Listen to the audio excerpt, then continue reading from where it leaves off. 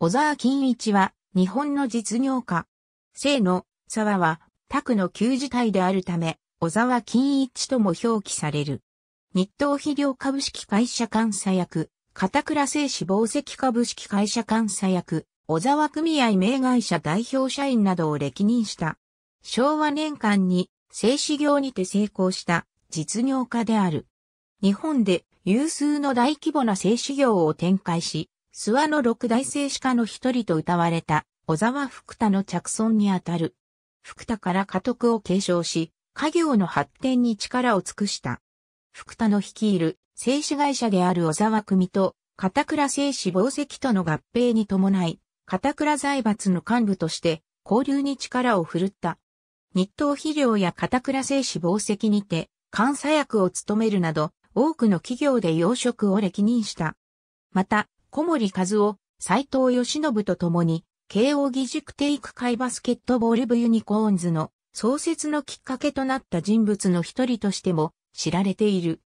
1927年7月、愛知県庭国犬山町での合宿にて1905年9月、実業家である小沢晴美の長男として生まれた。金一の母は実業家である小沢福田の長女であり、父である晴美は福田の養子氏であった。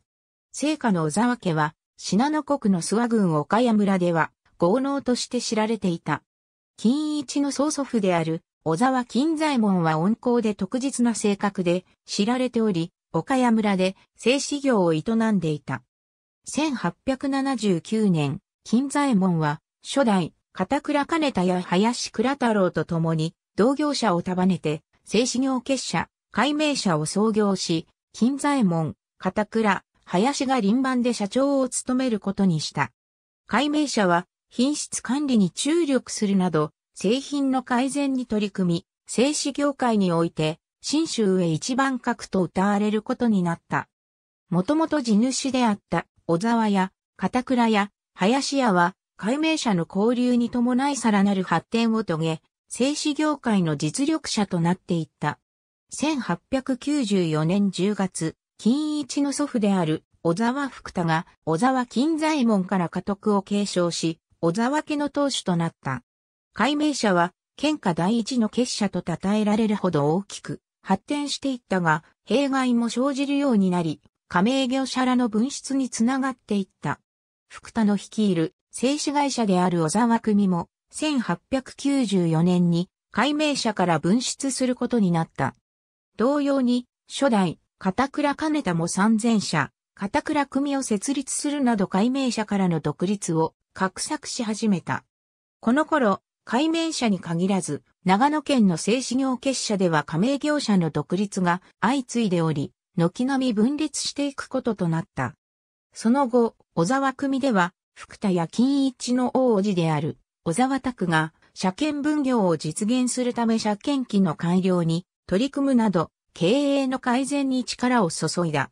小沢組は日本でも有数の規模を誇る製紙業者に発展し、同社が経営する製紙所にはアメリカ合衆国から視察団が訪れるほどであった。長野県には大小様々な製紙業者が乱立し、機械製紙業者だけでも600社以上存在したが、その中でも小沢組は、片倉製紙紡績などと共に、諏訪の六大製紙と呼ばれるほどの規模となった。長野県だけで1075釜の製紙所を所有していたが、その他埼玉県に1005釜、熊本県に418釜、青森県に348釜など県外にも製紙所を所有し、全国的に事業を展開した。しかし、金一の父である小沢晴美は若くして亡くなった。その後、金一の母は倉沢虎尾と再婚することになり、それに伴い、虎尾は小沢福田の養子となった。ただ、すでに金一が生まれていたことから、亡くなった晴美に代わって金一が小沢家の獅子となった。その後、金一の母が亡くなると、虎尾は竹から5歳を迎えることにした。さらに、虎尾は妻子を伴い、福田の家から分家することになった。ただ、福田と虎尾との養子縁組は解消しなかったことから、虎尾は金一のまま父ではなくなったものの、金一の養王子となった。その後、金一は深く学問を身につけるため上京し、旧制の成城中学校に進学した。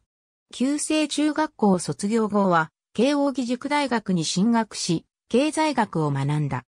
在学中は、共に、成城中学校から慶応義塾大学に進学した小森和夫、斎藤義信とバスケットボールで意気統合し、1924年に慶応義塾老朽クラブを結成した。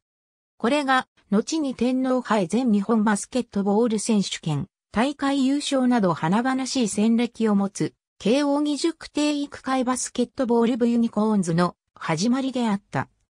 当初は、慶応幼稚舎や近隣の学校の運動場を間借りして練習していたが、部員の一人が愛知県庭郡犬山町にあるホテル、彩雲閣の御曹司だったことから、彩雲閣で合宿を行うようになった。1926年7月に彩雲閣で初めての合宿を行い、その後、まずは小手調べのためと称し、関東地方の大会ではなく、あえて関西学生バスケットボール選手権大会に愛知犬山クラブを名乗って出場している。ただ、アウトオブバウンズの際、メンバーが思わず、慶応ボール、慶応ボールなどと叫んでしまい、慶応義塾大学の学生であることが発覚するという珍事が起きている。なお、ポジションはセンターやガードであった。翌年7月にもメンバーらと再運閣で合宿を行っている。1930年、慶応義塾大学を卒業した。かつて、小沢組の本部が設置されていた、片倉製紙紡績小沢製紙所小沢家が資材を投じて建設し寄贈した岡谷市庁舎。大学卒業後は、祖父の小沢福田や、幼児の小沢虎オーラと小沢家の家業に参画すると、共に実業界にて活躍した。なお、1923年の時点で、福田は、小沢組を株式会社化しており、その初代社長に就任している。資本金は550万円であり、この時点で2700カマ町を要する大規模な製紙業者であった。同年、初代、片倉金田の弟である二代目、片倉金田が率いる片倉製紙紡績と小沢組とが合併することになった。合併後の片倉製紙紡績において、福田は取締役に名を連ね常務に就任した。その結果、金一も片倉製紙紡績の幹部として迎えられることになった。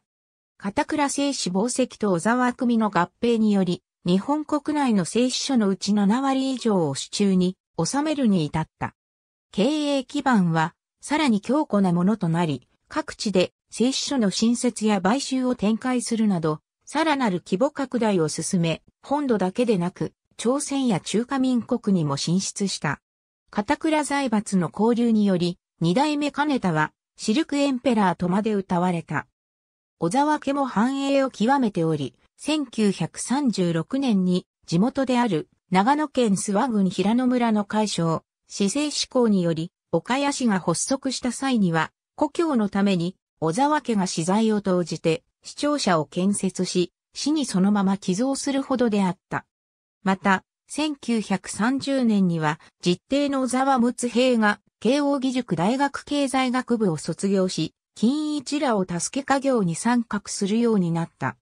なお、陸平は1933年に小沢福田の家から分家しており、後に製紙会社である朝鮮キートの取締役に名を連ねて常務に就任した。その後、片倉財閥を離れ、義重帝である二代目、池貝翔太郎が率いる池貝鉄工所に転じ、そちらで秘書を務めることになる。1937年、祖父である小沢福田が亡くなった。同年、小沢家の家督は、福田から金一に継承された。金一は引き続き、片倉財閥の幹部として活躍するとともに、様々な企業で養殖を歴任した。一例として日東肥料においては監査役に就任している。また、片倉財閥の中核を構成する片倉製紙紡績においても監査役に就任している。なお、小沢家の家督を継承するのに伴い、福田が設立した合名会社の小沢組にて二代目となる代表社員を務めた。この小沢組は株式会社化した後に片倉製紙紡績と合併した製紙事業会社とは別会社であり、小沢家の資産管理会社として設立されたものである。なお、私生活においては、小沢拓の長女と結婚することになった。なお、拓の妻は、二代目、片倉金田の兄である、今井五助の長女にあたる。したがって、金一の妻は、二代目金田の王名であり、片倉財閥の祖である、片倉一助の彦にあたる。この結婚により、諏訪の六大政治家の一人である、小沢福田の着村である金一が、同じく、諏訪の六大政治家の一人である二代目金田の実刑の孫と結婚することになり、小沢家と片倉家の隕石関係は、より強固なものとなった。また、金一は、東京府東京市が所有する1万7000坪の土地を取得しようと考え、その入札に参加した。この私有地は、従来は三木武義が借り受けて、ゴルフ練習場を経営していたが、1938年頃より東京市役所公安部が民間への払い下げを計画していた。ところが、柳瀬長太郎率いる柳瀬自動車もこの土地に目をつけており、軍需用の工場を建設しようと考えていた。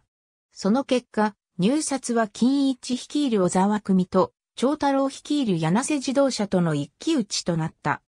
柳瀬自動車で土地取得の交渉責任者だった柳瀬喜作は入札参加者は自分たちのみと当初予想しており、容易に落札できると考えていた。